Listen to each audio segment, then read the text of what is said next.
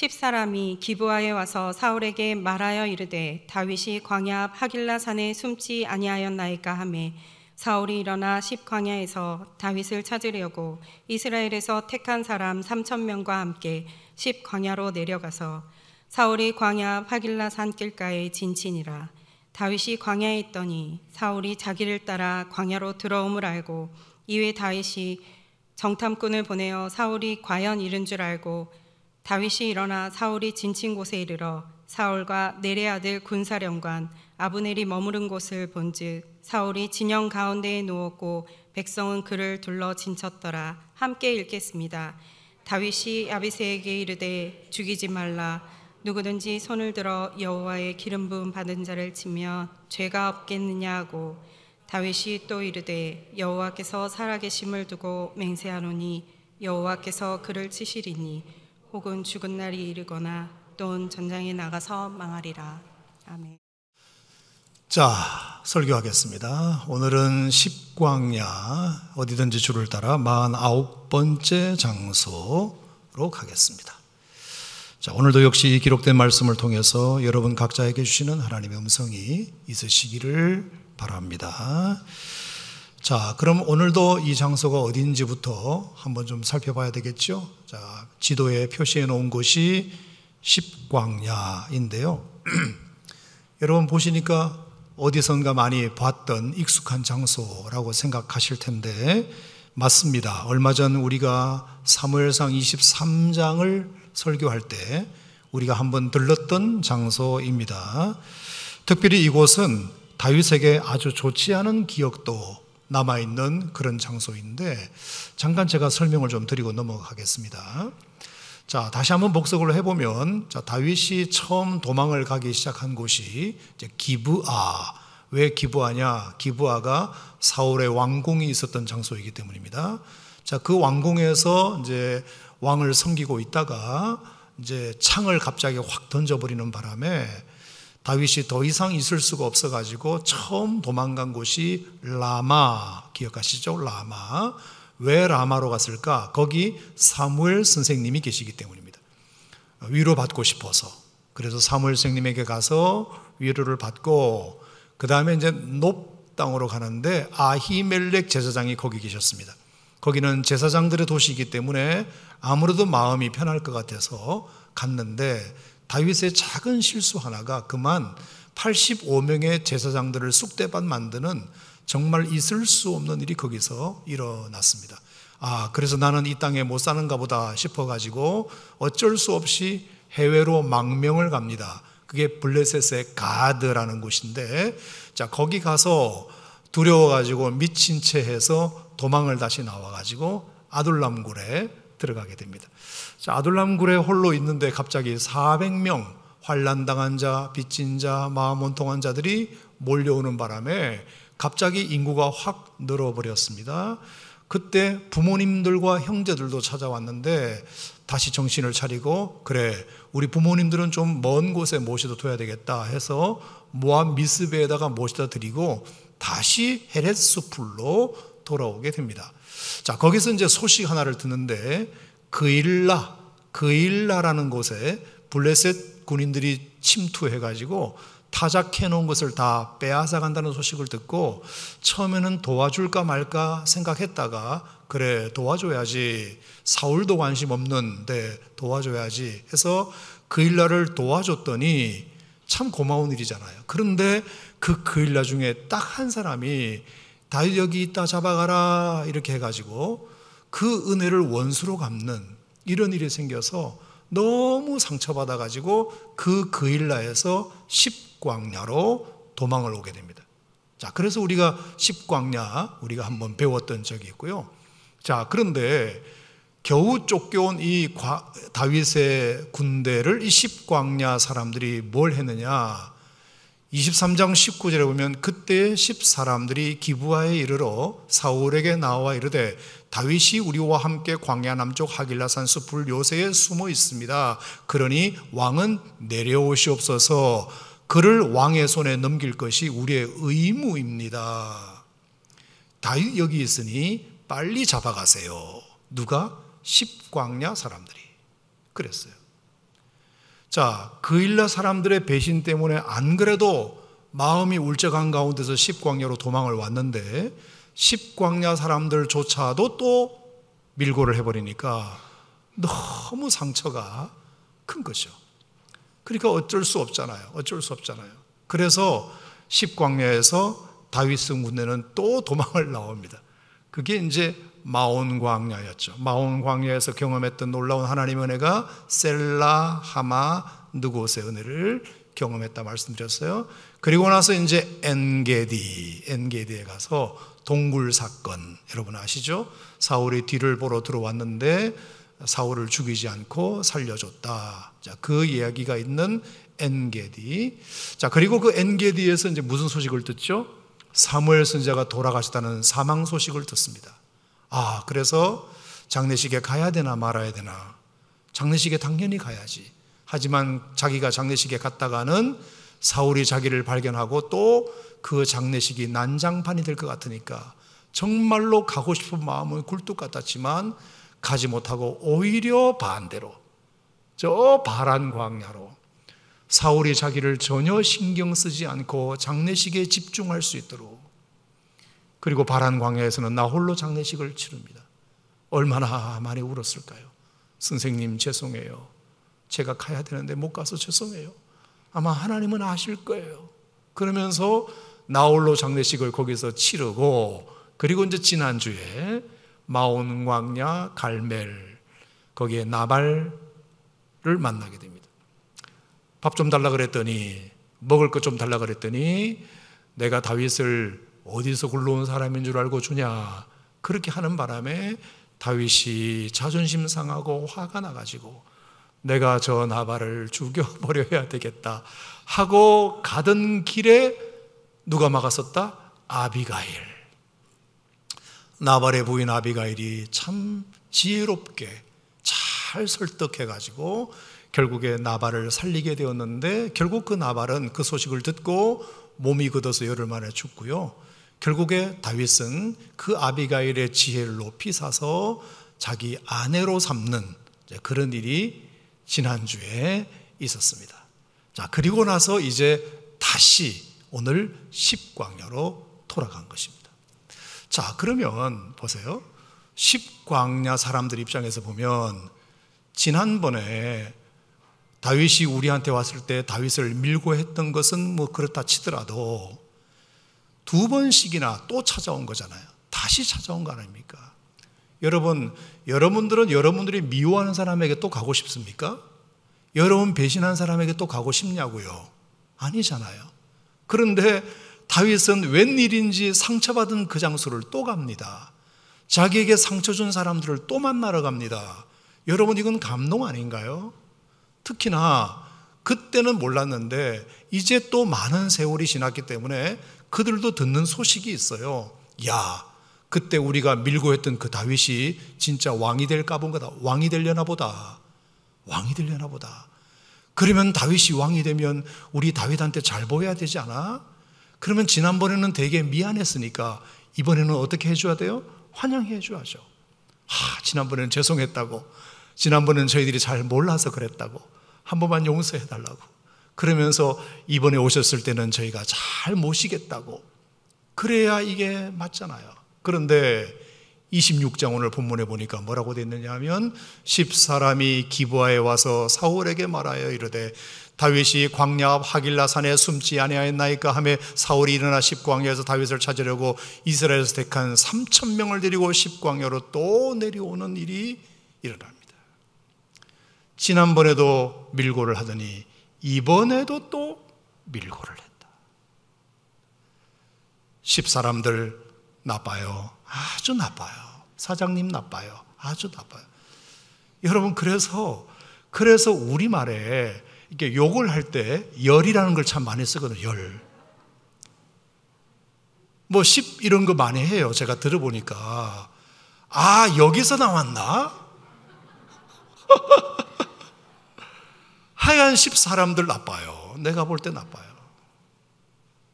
아주 그런 욕을 먹어도 싸요. 아니, 사람이 한 번 했으면 되지. 어떻게 두 번씩이나.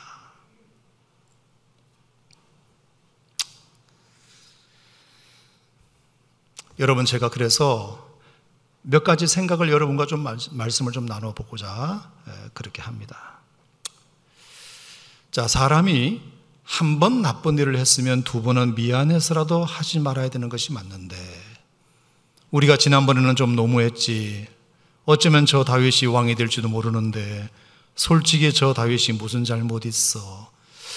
그때는 우리가 몰라서 그랬다 하더라도 오늘 이제 알게 되었으니 잘해드려야지. 이래야 되는 거잖아요. 그리고 그 다윗 왕이 될 사람이 우리 지방에 또 와준 것은 참 고마운 일이잖아요. 화해의 손을 먼저 주는 것 자체가 너무 감동이잖아요. 그런데 또 밀고를 해버렸다. 여러분, 그래서 이것은 이제 마음을 잡고 다윗을 잊어버리려고 했던 사울에게도 적지 않은 충동질이 됩니다. 충동질이 돼요. 여러분, 제가 한번 드리고 싶은 말씀은 사람이 누가 자꾸 충동질을 하면 참 이게 쉽지 않더라고요. 제가 내가 그 사람으로부터 어떤 감동을 평소에 많이 받았어도 누가 옆에서 한 번만 나쁜 쪽으로 충동질을 하면 그 감동받은 것까지 싹 까먹을 정도로 충동질은 굉장히 강력해요. 나쁜 충동에 좋은 감동이 힘을 못 쓰는 경우가 많습니다. 예를 들어서 하나님이 에덴 동산에서 얼마나 아담과 하와에게 큰 감동을 줬나요? 그들과 그들을 다른 피조물과는 달리 특별히 하나님의 형상대로 지어 주셨죠. 생육하고 번성하고 충만한 은혜를 주셨죠. 너무 외로울 것 같아 가지고 예쁜 하와도 보내 붙여 주셨죠. 하나님이 만드신 모든 만물의 이름도 다윗 보고 지어 보라고 기회를 주셨죠.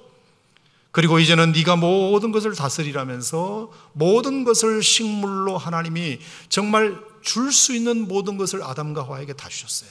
얼마나 하나님의 은혜가 감동적입니까?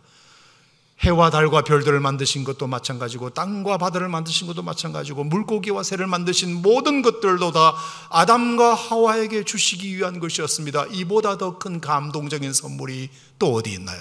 그런 선물을 받아놓고도 아담과 하와는 뱀의 작은 충동질 한 방에 한 방에 넘어가는 걸 제가 봤어요. 그렇게 엄청난 은혜를 받고서도 옆에서 찌르는 충동질 하나에 한 방에 넘어가는 게 인간이구나. 너무 안타까워요. 너무 안타까워요. 은혜를 잊어도 은혜를 왼수로 갚아도 유분수지. 인간이 그러면 안 되잖아요. 물론 이 사람들이 이렇게 하는 데는 또 다른 이유가 하나 있어요. 그 충동질을 받아주는 사울이 있었기 때문에. 손뼉은 맞장구를 쳐야 소리가 나거든요. 아무리 십 사람이 밀고를 하고 신고를 해도 사울이 반응을 보이지 않으면 괜찮아요. 야, 이런 거 신고하지 마. 나 이제 마음 돌이켰어. 나 마음 잡았어. 그리고 24장에서 다윗이 나를 살려준 것이 너무 고마워서 나는 이제 다윗을 절대로 이제 쫓아가지로 않기로 결심한 사람이야. 너희들 자꾸 나한테 충동질 하지 마. 나 이미 끊었어. 나 이미 끊었어. 이렇게 확실한 사인을 줬다면 백성들도 신고를 더 이상 하지 않았겠죠. 하지만 사울은 말은 앞으로 번지르르 하게 했지만 여전히 마음 한 곳에는 억가심정이 남아 있었던 것이에요. 그래서 여전히 현상수배 전단지도 떼지 않았어요. 그러니까 제보가 들어오는 거죠. 받아주니까 누가 받아주니까 충동질 하는 거지. 안 받아주면 재미없어서 안 해요. 저 사람은 건드리지 말아야 되겠다. 찔러봐야 소용없다. 근데 찌르면 들어가니까 찌르는 거예요. 아, 사람이 어떤 결심이라는 것이 있었으면 주변 정리를 확실하게 해야 되겠구나. 그래야 다른 사람도 이 사람 바뀌었구나. 건드리지 말아야 되겠구나. 라고 생각하는 것입니다. 죄송하지만 한번 따라해 보시겠어요? 결심이 섰으면, 결심이 섰으면 주변 정리도 잘하자. 아멘. 그래야 찝쩍거리잖아요. 마귀가 나쁜 사람이 찝쩍거리잖아요. 아, 저 사람은 건드려도 반응하지 않을 사람이니까. 또 하나 사울이 충동질을 받을 수밖에 없는 이유는 치유받지 못한 상처 때문이에요. 자, 아시는 대로 사울은 다윗을 시기하는 마음이 너무나 커서 순식간에 그 틈을 타고 악령이 들어와 사로잡혔던 경험이 있는 사람이에요. 그렇죠? 자, 그런데 제가 성경을 보니까 어떤 성경 구절에도 그 이후로 이 사울의 마음의 상처가 치유받았다는 기록이 없어요. 아무리 찾아봐도. 어디 상담받아, 상담받으러 갔다는 기록이 없어요. 처음에 다윗이 음악으로 좀 해주다가 갑자기 홧김에 창을 던진 이후에 그 후로 몇 년을 이렇게 계속 다니는 것을 보면 분명히 사울은 그 마음에 들어온 악령에 대하여 치료받지 못했어요. 그러니까 이성적으로 통제가 될 때는 조금 괜찮아졌다가도 다시 뭔가 상황이 딱 도지면 확 올라오는 것입니다. 확 올라와요. 여러분 애굽의 바로도 그랬거든요. 이 또한 마음의 병이에요. 왜? 애굽의 바로도 마음이 강팍했다고 성경은 기록했습니다. 그래서 모세에게는 모세에게 처음에는 나가라 그랬습니다. 백성들 데리고 나가라. 그랬더니 말해놓고 보니까 그게 아닌 게 비다 싶어서 못 나가게 막습니다. 그랬더니 하나님이 재앙을 퍼붓습니다. 그랬더니 겁나서 또 나가라고 합니다. 그랬더니 좀 재앙을 견딜만 하니까 또 못 나가게 합니다. 또 나가게 합니다. 또 못 나가게 합니다. 계속 이랬다 저랬다를 반복합니다. 여러분 이게 바로 마음의 병입니다. 이성적으로 통제될 때는 정상적으로 보이지만 이성 위에 감정이 확 올라와 버리면 자기도 모르는 말이 튀어나오고 자기도 모르는 행동이 튀어나오는 이유가 마음의 병이 치료받지 못해서 그렇습니다. 여러분 마음의 병이라고 보이지 않는다고 치유하지 않으면 결국은 언제 끝난다? 누군가는 죽어야 끝난다. 그래서 보세요. 바로의 강팍한 마음의 병은 마지막 열 번째 재앙, 장자의 죽음 재앙을 통해서 자기 아들이 죽고서야 바로의 바로의 강팍함이 끝나요. 누군가는 죽어야 끝나요. 무서운 병이에요. 그래서 마음의 병도. 사울도 마찬가지입니다. 사울도 이 악신이 걸린 이 마음을 치료하지 않으니까 결국은 언제 이 싸움이 끝나느냐? 자기 죽고 요나단 죽고 길보아산 전투에서 다 죽고 나서야 끝나요. 암만 죽을 병인가요? 마음의 병도 죽을 병이에요. 어디 가서 상담받아야 돼요. 반드시 치료받아야 돼요. 세 번째, 진정한 회개가 없어서예요. 좀 전에도 말씀드렸지만, 자, 신기한 것은 24장 엔게디에서 사울이 자기 목숨을 건진 것 때문에 대화를 나눈 적이 있습니다. 자, 다윗에게 사울이 뭐라 그랬죠? 다윗아, 나는 너를 학대했는데 너는 나를 선대했구나. 네가 더 의롭구나. 네가 나를 이번에는 살렸구나. 네가 진짜 왕이야. 이렇게 사울이 다윗에게 말은 했지만 정작 빠진 것이 하나 있어요. 그게 뭔지 아세요? 다윗아 내가 잘못했어 라는 말이 빠졌어요. 여러분 24장을 한번 봐봐요. 한마디도 없어요. 다윗아 네가 의롭구나 네가 이번에 나를 살렸구나 네가 나를 정말 선대하는구나 이런 좋은 말은 많이 했지만 한마디 자기가 잘못했다는 구절이 없어요. 왜 이게 중요한지 아십니까, 여러분?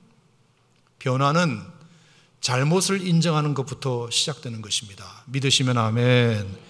왜 우리가 예수를 믿으면 변화된다고 말할까요? 왜 예수 믿으면 변화된다고 말할까요? 안 가던 교회를 나가서인가요? 안 부르던 찬송을 불러서인가요? 안 하던 기도를 해서인가요? 안 듣던 설교를 들어서인가요? 아닙니다.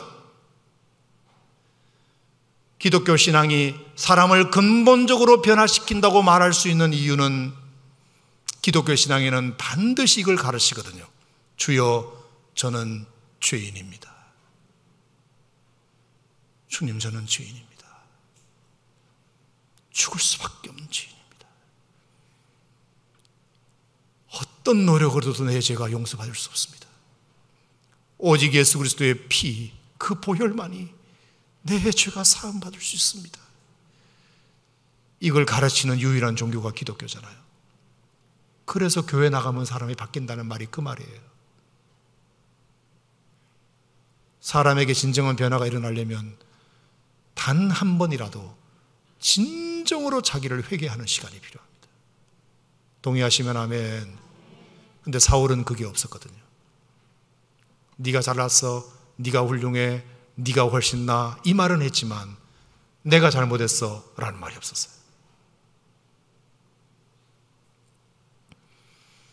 여러분 변화를 원하신다면 진정으로 회개해야 할 줄 믿습니다. 아무리 강조도 지나치지 않습니다. 그리고 마음의 병 꼭 상담받고 치유받으십시오. 그리고 마지막 주변 정리도 잘 하시기 바랍니다. 다시 충동받고 유혹받을 수 있는 환경 자체를 정리해 버리시기 바랍니다.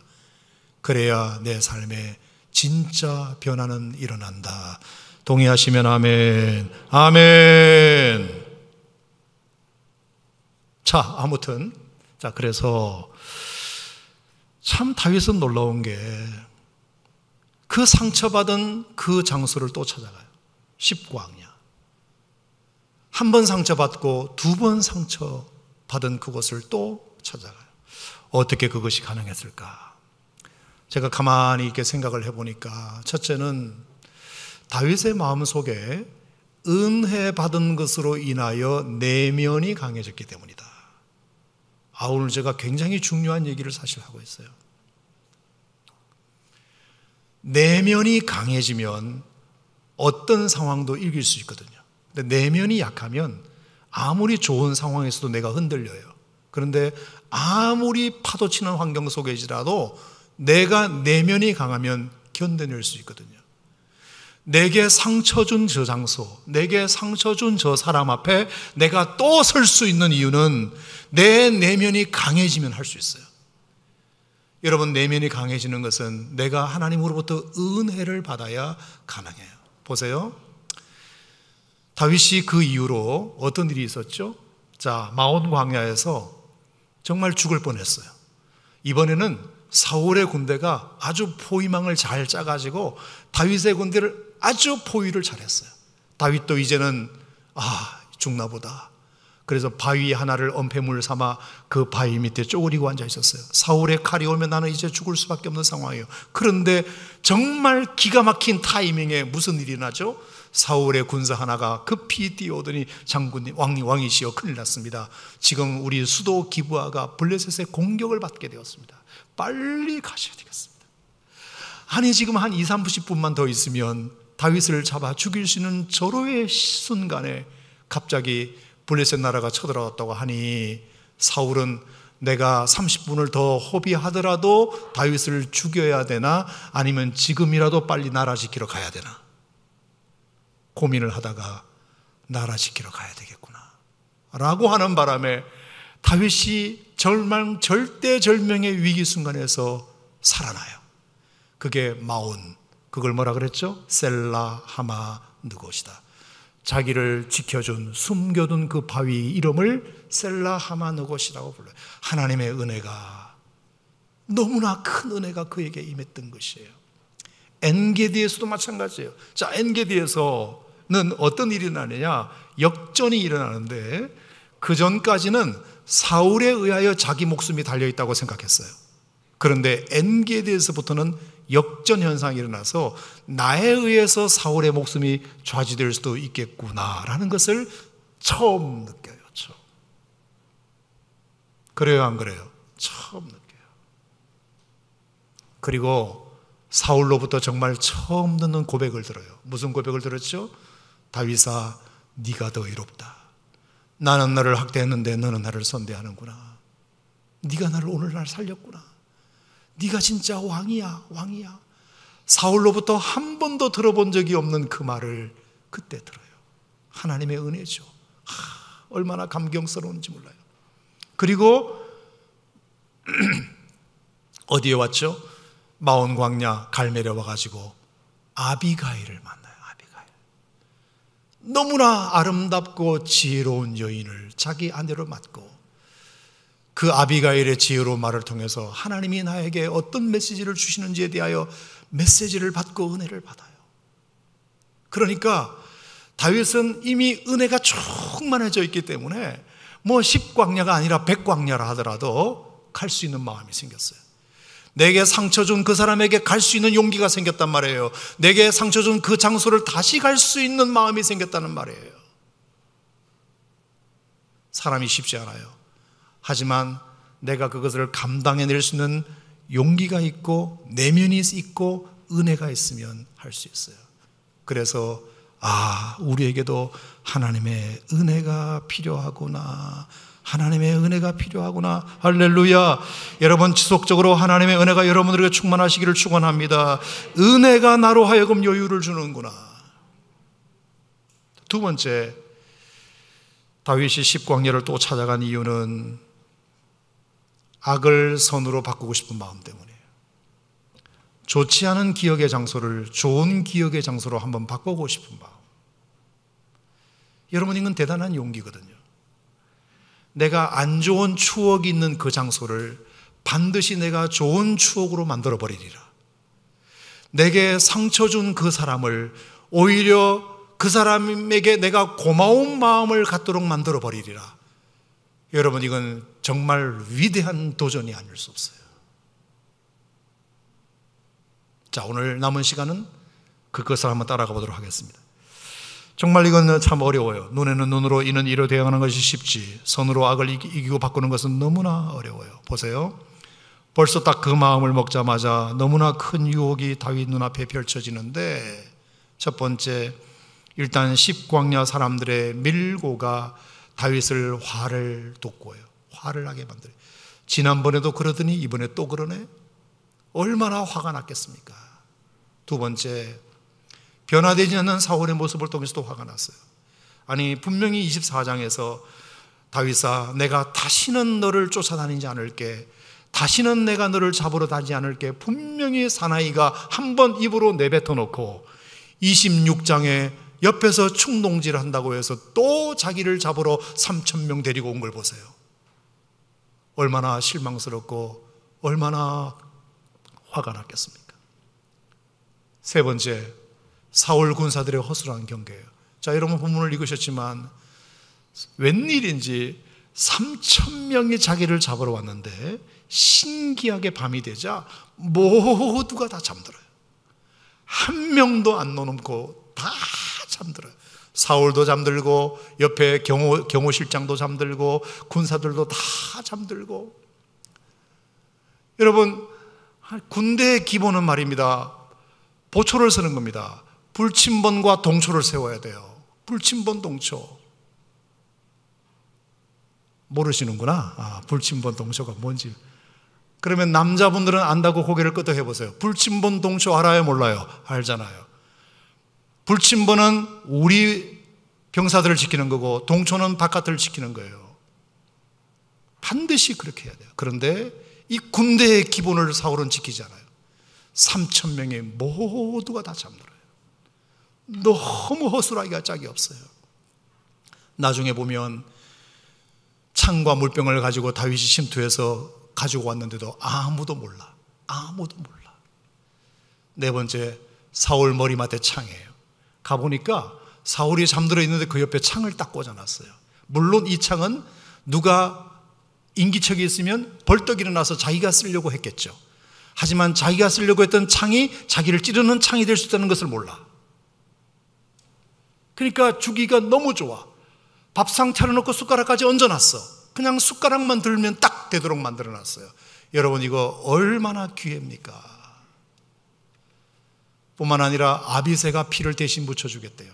자, 아비가일 자기 부인이 여보 더 이상 당신 손에 피를 묻히지 마세요. 당신은 앞으로 성군이 되실 분이신데 왜 이력서에다가 빨간 줄을 그으려고 하세요? 절대로 피 묻히지 마세요. 부인이 그렇게 부탁했잖아요. 근데 내가 피를 묻히지 않아도 아비세 장군이 대신 하겠다고 하니까 얼마나 고마워. 얼마나 고마워요. 기회죠. 뿐만 아니라 다윗의 군사들에게도 전혀 위협이 안 돼요.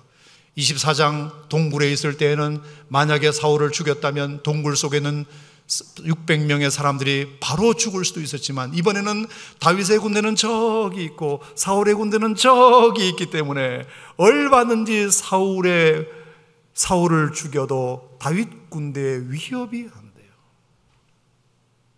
뿐만 아니라 지긋지긋한 이 도망자의 신세를 끝낼 수 있는 마지막 기회예요. 딱 죽여버리면 이제 도망자의 신세를 그 지긋지긋한 것을 끝낼 수 있고요. 정말 중요한 것은 하나님까지 도와주세요. 자, 이건 여러분이 한번 보셔야 되겠는데, 자, 사무엘상 26장 한번 보시겠습니까? 26장 12절 말씀 시작. 다윗이 사울의 머리 곁에서 창과 물병을 가지고 떠나가되 아무도 보거나 눈치채지 못하고 깨어 있는 사람도 없고 이는 여호와께서 그들을 깊이 잠들게 하셨으므로 그들이 다 잠들어 있었기 때문이었더라. 자 보세요. 그들이 피곤해서 잠든 것도 있지만 누가 잠들게 하셨다? 하나님이 다 일괄적으로 수면제를 싹 먹이셨어요. 여러분 이건 뭘까요? 하나님도 다윗을 도와주는 거예요. 다윗아 그동안 너무 억울했지. 이번에는 나도 허락할 테니까 이번에는 나도 눈 감고 있을 테니까 내가 싹 수면제 먹여놨으니까 죽여버려. 죽여버려. 이번에는 죽여버려. 하나님도 도와주시는 거예요. 그러니 여러분 왜 안 죽일 수 있겠습니까? 안 죽일 이유가 없어요. 모든 상황과 여건과 하나님까지 도와주시니 안 죽일 이유가 없어요. 그런데 다윗은 이 기회마저도 놓쳐요. 외면하시, 외면합니다. 각인 같지만 사울 머리맡에 창과 물병만을 가지고 돌아옵니다. 도대체 왜, 도대체 왜 그랬을까? 두 가지. 첫 번째, 사울에 대한 측은지심. 자, 이게 무슨 말이냐면, 보세요. 26장 3절과 4절에 보면, 사, 다윗의 군대는 600명, 사울의 군대는 3,000명인데, 군사력에서는 차이가 났지만, 정보력에서 이미 졌어요. 여러분, 군대는 정보 싸움입니다. 정보가 많이 있는 군대가 이겨요. 자, 남자분들 빨리 고개 끄덕끄덕 해주세요. 빨리 설교해야 돼요. 자, 정보가 많은 군대가 이겨요. 맞아요? 틀려요? 맞아요. 자, 3절, 4절에 보니까 사울의 군대의 진영을 다윗이 먼저 알아차려요. 그리고 정탐꾼을 보내도 사울이 정탐꾼을 보낸 것이 아니라 다윗의 군대가 먼저 사울의 군대의 정탐꾼을 보내요. 자, 이미 군사력으로 정보에 있어서 우위에 있다는 뜻이에요. 뿐만 아니라 사울의 군대를 보시면 완전히 다 잠들어 있어요. 싸울 의지가 없어요. 사울을 지켜줄 마음도 없어요. 깊숙이 침투하여 창과 물병을 가지고 나왔는데도 아무도 몰라요. 아무도 몰라요. 심지어 사울의 경호실장 아브넬 장군도 잠들어 있어요. 경호실장도. 딱 그걸 보는 순간 다윗의 마음 속에 무슨 마음이 들었을까요? 사울이 불쌍하다. 저도 가끔 그런 경험을 하는데 나한테 너무 상처 주고 내가 너무 핍박을 많이 받아서 그 사람은 내가 도무지 감당할 수 없고 내가 이겨먹을 수도 없는데 내가 상처만 받을 때 힘들잖아요. 근데 어느 날 그 사람을 내가 우연히 봤는데 너무 초라한 거예요. 너무 그 사람이 초라하신 거예요. 초라하신 거예요. 저 사람이 나를 괴롭힌 사람이 맞나? 저 사람이 저 사람이 정말 나의 적수가 맞나 싶을 정도로 너무 밑에 있는 것처럼 보이는 거예요. 불쌍하게 이럴 데 없어요. 그랬더니 갑자기 원수 갖고 싶은 마음은 싹 사라지고 불쌍한 마음이 드는 거예요. 사울 너무나 큰 존재였고 너무나 수년 동안 쫓겨다녔기 때문에 사울은 내가 반드시 죽여버리라 생각하고 마음을 먹었다가 갑자기 십광야에서 한 번 그 사울이 잠들어 있는 모습을 딱 보는데 눈앞에서 너무 불쌍한 거예요. 사울은 외롭구나. 3천 명 군대가 있으면 뭐해? 아무도 지켜주지 않는데 다 잠들어 있는데 심지어 경호실장 아브넬도 저렇게 잠들어 있는데 사울은 아무도 지켜줄 사람이 없구나. 그러면서 갑자기 무슨 생각이 들었다. 나라도 지켜드려야 되겠구나. 사람 마음이 참 신기해요. 갑자기 바뀌어. 죽여버리고 싶은 마음이 오히려 지켜주고 싶은 마음으로 바뀌어요. 그래서 사울을 이번에도 못 죽여요.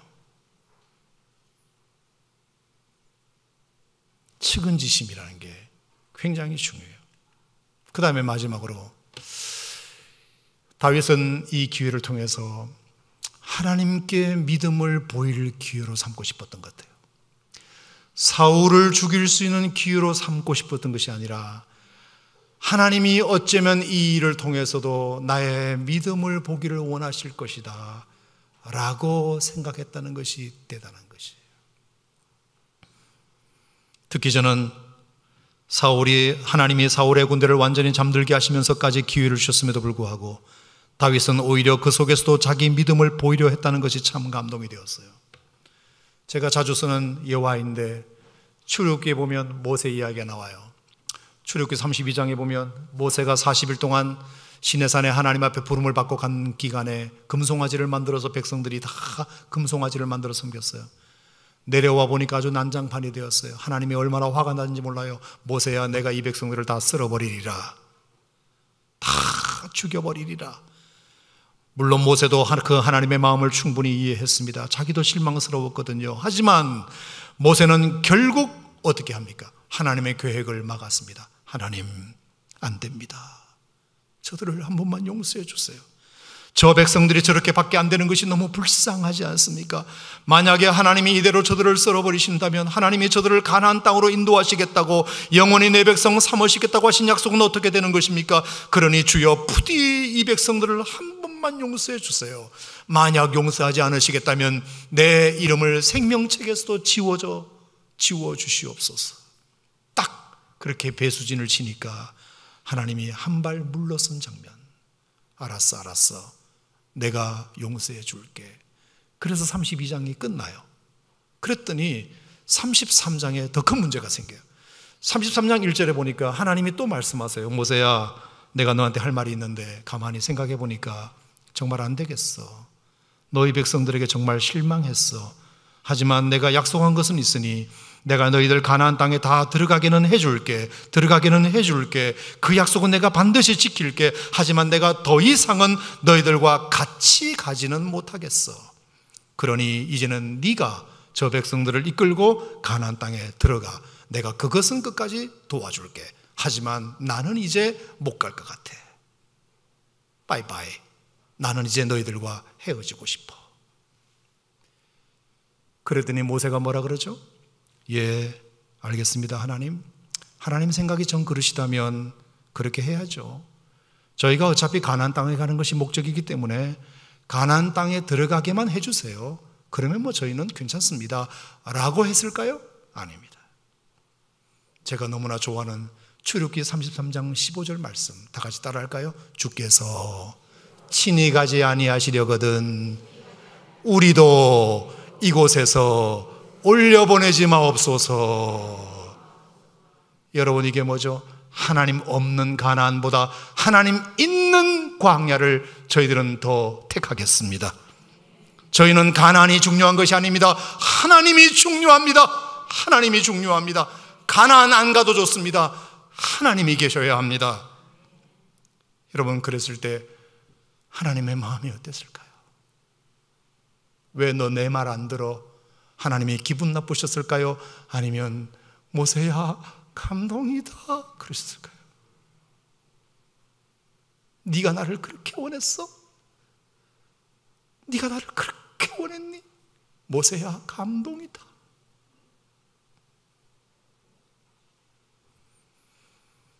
바로 이 믿음이에요. 하나님이 다 사울의 군대를 잠재워 오셨지만 하나님이 잠들게 하셨다고 분명히 말했어요. 그러니까 하나님이 도와주시는 거예요. 어서 죽여, 어서 죽여. 이제는 죽일 때도 됐어. 네가 참을 만큼 참았잖아. 나도 도와줄 테니까 이때 다 죽여버려. 하나님도 도와주셨어요. 근데 다윗이 뭐라 그랬어요? 안 합니다. 하나님 저 못합니다. 저 죽일 수 없습니다. 내가 기름 부음 받은 것도 중요하다면 남이 기름 부음 받은 것도 중요합니다, 하나님. 저 사울도 기름 부음 받은 존재 아닙니까? 어떻게 죽입니까, 내가? 내가 왕이 빨리 되어 보겠다고. 이 지긋지긋한 도망자의 신세 끝내 보겠다고. 아무리 그래도 내가 기름 부음 받은 것도 중요하다면 저 사람 기름 부음 받은 것도 중요하니까 저는 끝까지 지켜줄 겁니다. 하나님 죄송합니다. 그랬을 때 하나님이 왜 네가 내 말을 안 듣느냐고 했을까요? 아니면 다윗아 감동이다 그랬을까요? 다윗 야 어떻게 그렇게까지 생각하니 너?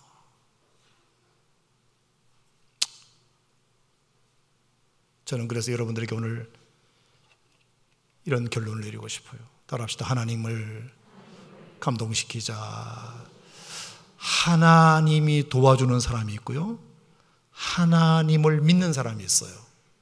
근데 그보다 더 중요한 건 뭔지 아세요? 하나님을 감동시키는 사람이에요. 하나님이 도와주는 사람, 하나님을 믿는 사람, 아니, 하나님을 감동시키는 사람. 네가 그렇게까지 생각할 줄 몰랐다. 우리가 이제 이 믿음으로 나아갈 때 저는 여러분들이 이 시대의 깃발이 될 수 있고 이 어두운 시대에 등불이 될 수 있는 성도가 될 수 있으리라 믿습니다. 따라합시다. 하나님을 감동시키자. 따라합시다. 하나님을 감동시키자. 믿으시면 아멘. 고마우신 하나님 감사합니다.